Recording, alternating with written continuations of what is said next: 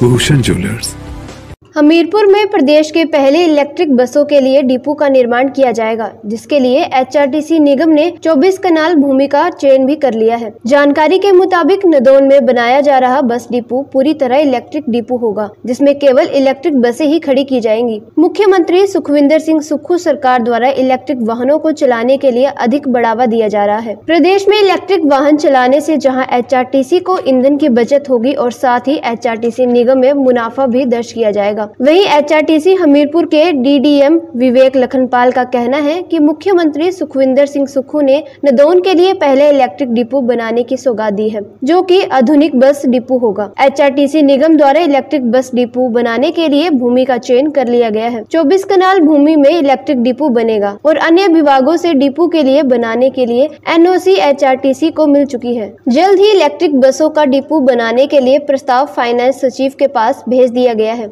उन्होंने कहा कि ये बस डिपो अन्य बस डिपो की तरह नहीं होगा, बल्कि पूरी तरह से इलेक्ट्रिक डिपो होगा। हाँ माननीय मुख्यमंत्री जी ने नदौन के लिए एक बस डिपो की सौगात दी है, और साथ साथ में ये भी चाहा है कि ये डिपो जो अत्याधुनिक होना चाहिए। तो इसी के मद्देनजर रखते हुए वहाँ पर सिलेक्शन ऑफ़ लैंड जो आजकल चला हुआ है, जो कि आइडेंटिफाई कर ली गई है, और ये टोटल चौबीस कनाल भूमि है, और जितने भी डिपार्टमेंट्स इन्वॉल्व होते हैं, उनकी लगभग सभी की हमारे पास आ चुकी है, जो कि हमने डीसी ऑफ़िस में जमा करा दी है।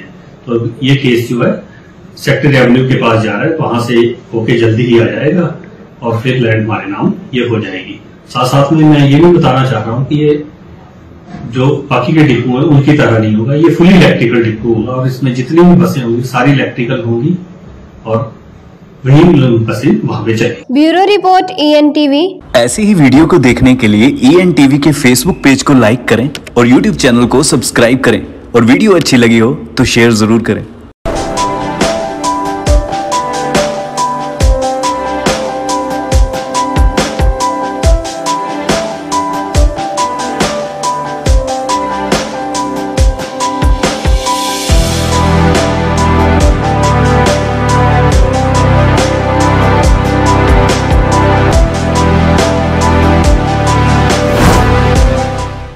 भूषण ज्वेलर्स अनमोल रिश्तों के लिए।